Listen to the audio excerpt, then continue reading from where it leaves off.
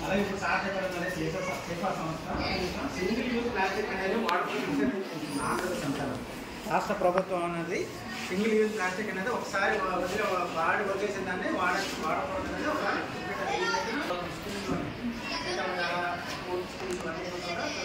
అవగాహన అంటే మీకు తెలిసి ఇంట్లో కూడా మీ మమ్మీ డాడీ ఇస్తారు అమ్మ ఈ ప్లాస్టిక్ వాడకూడదు కదా దీనివల్ల క్యాన్సర్ వస్తుంది అలాగే పశువులు ఏమి పట్టిన కలిసి తిని దానివల్ల హెల్త్ వాడడం చచ్చిపోతాయి పశువులు అందులో గవర్నమెంట్ దీన్ని పూర్తిగా సింగిల్ యూజ్ అలాగే ఈ మధ్య మీరు ఫ్యామిలీ చూసారా? బీచ్ క్లీనింగ్ అని గవర్నమెంట్ విశాఖపట్నంలో ఇక్కడ ఎక్కడ మరొక ఎక్కడ బీచ్ క్లీనింగ్ కార్యక్రమం పెట్టారు. ఈ మధ్య రెగ్యులర్గా ప్రోగ్రామ్స్ అవుతున్నాయి బీచ్ బీచ్లో ఉన్నటువంటి ప్లాస్టిక్ అంతా ఏది వేసి ఒక దగ్గర పెడితే వాళ్ళు వచ్చి తీసుకుందాన్ని రీసైక్లింగ్ మళ్ళీ చేస్తున్నారు. దాని నుంచి మన కలసాలు వేరే వస్తువులు క్యాన్సర్ ఎవరైనా తయారు చేస్తున్నారు. బీచ్లో కొన్ని టన్నులు లక్షల టన్నులు ఫ్యాబ్రిక్ ఈ కాలువల వారికి కలిసిపోయి ఉంటుంది బీచ్లో అవన్నీ తీస్తాం బయట అందుకని మనం ఇప్పటి నుంచే జాగ్రత్త పడి ప్లాస్టిక్ అనేది వాడకుండా జాగ్రత్త తీసుకుంటే నెక్స్ట్ తరం వాళ్ళకి కూడా ఎంత ఉపయోగపడుతుంది? దానివల్ల పొల్యూషన్ ఉంటుంది ఆరోగ్యం బాగుంటుంది. ఈ యొక్క మనం ఎగ్జాంపుల్ మనం చాలా చూస్తాం బట్టలకి వెళ్తాం. టీ ఇస్తారు. టీ ఎన్ని వేస్తాడు? ఎంత కవర్ వేస్తాడో? లేదు దానివల్ల ఆ దానికి ఉన్న కెమికల్ దాంట్లో మన క్యాన్సర్ వచ్చే అవకాశాలు ఉన్నాయి ఏది వస్తువు ఏది కూడా ప్లాస్టిక్ కవర్లో తీసి ప్యాకింగ్ చేసి అక్కడ తింటే క్యాన్సర్కి కారణం అలాగే ఈ మధ్య ప్లాస్టిక్ బీచ్ కూడా గ్రీన్ అనేది వాళ్ళ మొత్తం ఆంధ్రప్రదేశ్ అంతా చేస్తున్నాం విశాఖపట్నం విశాఖపట్నం చింతపల్లి ఈ మండలాలు కూడా బాగా తీసుకెళ్ళి అవేర్నెస్ సూచనలు చెప్తున్నాము.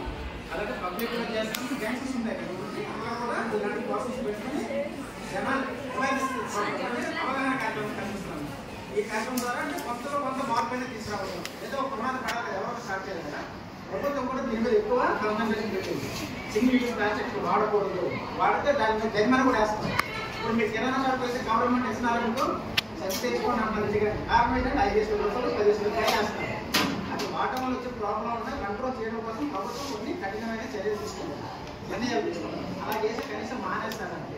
అందుకే మనం కూడా ఇంట్లో కూడా మన మీద షాప్ కన్నా సంచి ఉందండి ఏదైనా సంచి కానీ ప్లాస్టిక్ అయితే కాదు.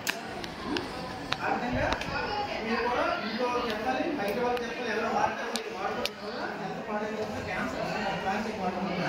ఒకసారి వాడి వదిలేసారు కొంచెం ఉంటాయి కాబట్టి ఒక్కొక్కటి పని చేస్తాను. బట్ కవర్ వేసేస్తారా అది కూడా నచ్చుతుంది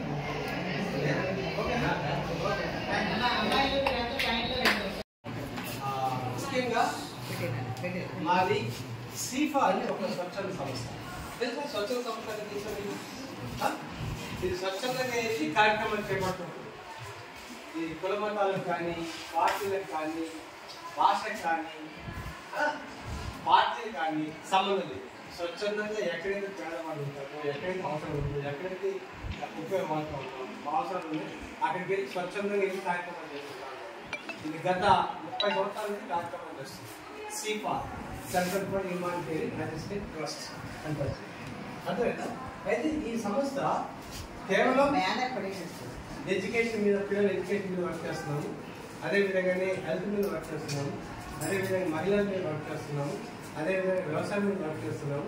అదేవిధంగా టెక్నాలజీ మీద వర్క్ చేస్తున్నాము. ఐదు కాన్ఫరెన్స్ మీద మనం వర్క్ చేస్తున్నాం ఎక్కడైతే అవసరం ఉందో ఎక్కడైతే ఎడ్యుకేషన్ పరంగా అవసరం ఉందో అక్కడ చేస్తున్నాం హెల్త్ పరంగా ఎక్కడ అవసరం ఉందో అక్కడ వర్క్ చేస్తున్నాం మహిళల అభివృద్ధి కోసం కార్యక్రమం చేస్తుంటాం అదేవిధంగా అగ్రికల్చర్ మీద ఎక్కువ వ్యవసాయం మీద మనం కార్యక్రమం చేస్తుంటాం అదేవిధంగా టెక్నాలజీ కొంతమంది చదువుకొని సగం సగం చదువు చదువుకుని మానేస్తున్నారు. అలాంటి వాళ్ళకి కంప్యూటర్స్ అన్ని మొబైల్ రిపేర్స్ అన్ని ఇలాగంటే ఆన్లైన్ అయితే టైలింగ్ అని ఇలాంటివన్నీ మనం ఏర్పాటు చేస్తుంటాం ట్రైనింగ్ ఏర్పాటు చేస్తుంటాం. అయితే అందులో భాగంగానే ఇది వచ్చి ఏడాది వచ్చి మనకి వైజాగ్ సీజన్ ఆఫీస్ ఉంది. మా మేడం గారి నుంచి వచ్చి డాక్టర్ తెచ్చుకోవడం ఈ కార్యక్రమం చేయడానికి ఈ సంవత్సరం మేము చూసుకుంటున్న పదహారు మంది స్టాఫ్లో అందరూ కలిసి మేము టీమ్ వేరే కార్యక్రమం చేస్తున్నాం కేవలం మన వైజాగ్ ఒకటే కాదు మన ఉత్తరాంధ్రలో ఉన్నటువంటి విశాఖపట్నం కావచ్చు విజయనగరం కావచ్చు శ్రీకాకుళం కావచ్చు ఇలాగ రకరకాల ప్రాంతాల్లో వెళ్ళి మనకు ఒక కేవలం విశాఖపట్నం ఒకదాన్ని కాదు. మనం ఇప్పుడు ఎక్కువ శాతం నర్సీపట్నం ఏరియాలో వర్క్ చేస్తున్నాం. నర్సీపట్నం చింతపల్లి నమ్మశివి ఎందుకంటే ఒక లేడీస్ ఆ ఏరియాలో వర్క్ చేస్తున్నాం. అయితే అందులో భాగంగానే ఈకో వైజాగ్ అనేది ఒక కార్యక్రమం తీసుకున్నాం. ఈ ఈకో వైజాగ్ అనే కార్యక్రమం ఇది కేవలం సంస్థ ద్వారా కాదు. దీనికి మన ఎడ్యుకేషన్ డిపార్ట్మెంట్ వాళ్ళు కూడా కలిసి కార్యక్రమం చేసుకుంటాం ఎంతమంది కలిసి పర్యావరణం గురించి ఎంతమంది తెలిసి? పర్యావరణం గురించి ఎంతమంది వాతావరణం గురించి ఎంతమంది తెలుసా లేదా? ప్యాంట్ అయితే ప్యాంట్ చూస్తూనే ఉండాలా? లేకపోతే కూర్చోలే కదా? అవును కదా. ఎందుకు? కదా వేడి ఒకప్పుడు మాకు ప్యాంట్ నీళ్ళు మాకు మీరు మేము చదువుకున్నప్పుడు ఇప్పుడు ప్యాంట్ కావాలి మిక్సీ కావాలి అన్ని ఏర్పాట్లు వస్తాయి. ఎందుకు? వాతావరణంలో వస్తున్నటువంటి మార్పులు. ఆ వాతావరణంలో మార్పులు రావడానికి కారణం ఏంటి? అడవులు కదా చెట్లు పెంచడం నరికేస్తుంటారు మన అభివృద్ధి కార్యక్రమాల పేరుతోటి పెద్ద పెద్ద ఇండస్ట్రీస్ అన్ని ఏర్పాటు చేశారు కదా ఎక్కడెక్కడ రావాల్సిన నీళ్ళన్నింటినీ ఆనకట్ట కట్టి కరెంట్ ఉత్పాదన చేస్తున్నారు ఇవన్నీ కలిపి ప్లాస్టిక్ వాటర్లో గోల్డ్ ప్లాస్టిక్ కదా అది లేకపోతే మనకు కూడా గడవదు కదా ఇంట్లో మమ్మీ కానీ డాడీ కానీ మనమైనా సరే తిని తిన్నప్పుడు మనకు కావాలి కదా? సో ఇవన్నీ ఉపయోగించడం వల్ల ఏమవుతుందంటే వాతావరణంలో గోల్డ్ అంత మార్పులు వాతావరణంలో చాలా మార్పులు వచ్చాయి. కదా? చాలా మార్పులు ఎప్పుడు వర్షం పడాలో వర్షం పడట్లేదు. వర్షం పడేటప్పుడు ఎండగాలి ఎండగాలి లేదు వర్షం పడదు కదా? ఇలాంటి మార్పులన్నీ రావడం వల్ల ఏమవుతుందంటే ఇప్పుడు ప్రస్తుతం మేమున్నాం అనుకోండి. మేము సార్ మా జనరేషన్ ఉంది కదా? మా జనరేషన్ అయిపోయి వచ్చింది. మా జనరేషన్ ఇంకంటే మహా అంటే మేము ఒక బ్రతికాం అనుకో ఇంకొక ఐదేళ్ళు పదేళ్ళు బతుకుతాం. కదా? అంతేనా? మా దాకా ఇప్పటిదాకా బాగా ఉన్నాము. అదే వాటర్ బాటిల్ కొనుక్కుంటున్నాం. దగ్గరికి వెళ్ళినప్పుడు. నెక్స్ట్ ఇప్పుడు ఆక్సిజన్ హబ్స్ వచ్చాయి. తెలుసా మీకు విశాఖపట్నంలో? ఆక్సిజన్ హబ్స్ అంటారు. మీకు మంచి గాలి మంచి వాతావరణం కావాలంటే ఒక వెయ్యి పదిహేను వందలు ఖర్చు పెడితే ఆ హబ్లోకి వెళ్ళి కూర్చుంటారు. మన హోటల్లో లాగా. పూజించి అక్కడ మంచి వాతావరణం వస్తుంది. అంటే ఆక్సిజన్ కూడా అమ్ముతున్నాడు ఇప్పుడు ఇంకొద్ది రోజులు పోతే నాకు తెలియదు. ఒకవేళ ఇంకొద్ది రోజులు పోతే మీరు ఆఫీస్కి వచ్చే మీరు స్కూల్కి వచ్చేటప్పుడు కూడా ఒక క్వశ్చన్ కష్టం వస్తారు. ఆక్సిజన్ మంచి దొరకదేమో అలాంటి రోజులు వస్తుంది కనుక ఈ వాతావరణాన్ని ఈ పర్యావరణంలో వచ్చినటువంటి మార్పుల్ని కొత్త వరకు దేశానంతా మనం బాగు చేశారు కదా? తీయగలం తీయలేం కానీ ఎక్కడో చోట దానికి మనం మొదలు పెట్టాలి ఆ కార్యక్రమంలో భాగంగానే ఈకో వైజాగ్ అని ఒక కార్యక్రమాన్ని చేపట్టింది. ఏంటంటే ఇప్పటిదాకా ఈ సంస్థ మన విశాఖపట్నం ప్రాంతంలో ఇంచుమించుగా నూట నాలుగు స్కూళ్ళలో నూట నాలుగు స్కూళ్ళలో ఈ చెట్టు పెంచే కార్యక్రమాన్ని చేపట్టారు చెట్టు పెంచే కార్యక్రమం అంటే పూల మొక్కలు గులాబీ మొక్కలు కనకాంబరం మొక్కలు కాదు కదా? అవి కూడా చెట్లే కదా మొక్కలే కదా? దానివల్ల ఉపయోగం ఉందా? లేదు. మనం ఇప్పుడు సార్ వాళ్ళ దగ్గర మేడం గారికి సార్ ఏం మొక్కలు ఇచ్చారండి ఏం మొక్కలు తీసుకొచ్చారు? పని మొక్కలు ఒకటి మీరు ఊహించుకోండి మీరు అనుకోకండి మనం పెడితే మనం తింటాం లేదా వస్తారు మనం తిన్నాం కాదు నువ్వు తినకపోయినా నీ పేరు మీద నీ మొక్కని పెంచామంటే నీ తర్వాత క్లాస్ వాళ్ళకి సార్ కదా? ఎప్పుడు మనం అలాగ ఆలోచించుకోవడం అలాగ ఆలోచించండి ఇన్ని చెట్లు ఇన్ని మొక్కలు ఉండేవి కాదు పెద్దవాళ్ళు ఆ విధంగా నువ్వు తిన్నా నేను తిన్నా ఎవరు దాన్ని ఉపయోగించుకుంటారు ఉపయోగించుకుంటే మొక్కలు పెంచారు కదా? అందుకే ఈరోజు ఇది చేస్తూ ఇంకా గ్రీన్గా కనబడుతుంది మనం అలాగ ఆలోచించుకోండి మన స్కూల్ కూడాను నిమ్మ జామ సీతాఫలం దానిమ్మ అంటే అన్ని అన్ని మొక్కలు ఉన్నాయి. కానీ అన్ని మొక్కలను అన్ని సమానంగా పదకొండు కేజీలు ఆక్సిజన్ రాదు. ఒక మొక్కలు ఒక కేజీ ఎంత ఆక్సిజన్? పదకొండు కేజీలు ఆక్సిజన్ వస్తుంది. కానీ అన్ని మొక్కలను సమానంగా రాదు. కొన్ని మొక్కలు కొంత కొంత ఆక్సిజన్. కొన్ని మొక్కలు పక్షులు పువ్వులు కట్టేటువంటి ఉపయోగపడతాయి. అంటే ఇదంతా లింక్ అయి ఉంటుంది. మన బయోడైవర్సిటీకి లింక్ అయి ఉంటుంది అనమాట మనుషులకి మనుషులతో పాటు పక్షులు పక్షులతో పాటుగా జీవజాలాలు అన్ని కూడా దానికి లింక్ అయి ఉంటాయి. ఆ విధంగా మనం మొక్కలు అనేది మన ప్లాంటేషన్ చేపించడం అనేది జరుగుతుంది అనమాట ఇంచుమించుగా మన వైజాగ్ మన వైజాగ్ సిటీలోని నూట నాలుగు స్కూళ్ళలో ఈ కార్యక్రమం చేపట్టాం.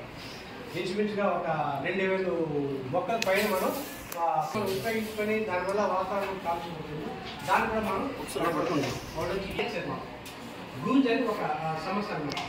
దాంతో పాటు మన దగ్గర మన సీఫా సంస్థ ఇనిషియేట్ చేసిందనమాట అస్లాం జ్వెల్వర్స్ జ్వెల్ నా పేరు శశిప్రభ నేను సీఫా రిప్రజెంటేటివ్గా ఇక్కడ మాట్లాడుతున్నాను.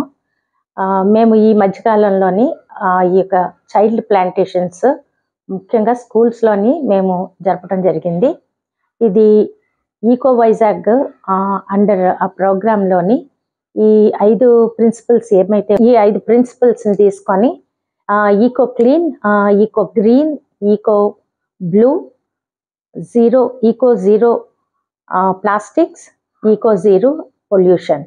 ఈ ఐదు అంశాల మీద స్కూల్స్లో ఉన్నటువంటి ఈ యొక్క పిల్లలందరికీ కూడా మేము అవగాహన కార్యక్రమాలు జరపడం జరిగింది. ముఖ్యంగా పదకొండు స్కూల్స్లోని ఒక కాలేజీలోని ఈ యొక్క కార్యక్రమాల గురించి చెప్పటం. రెండవదిగా వారితో కూడా కొన్ని కార్యక్రమాలు చేయించటం కూడా జరిగింది. స్కూల్స్లోని వారు కూడా ఈ యొక్క సీడ్ బాల్స్ తయారు చేసి వాళ్ళు కూడా ఈ యొక్క సీడ్ బాల్స్ నర్సరీస్తోని పాటు మొక్కలు నాటడం జరిగింది.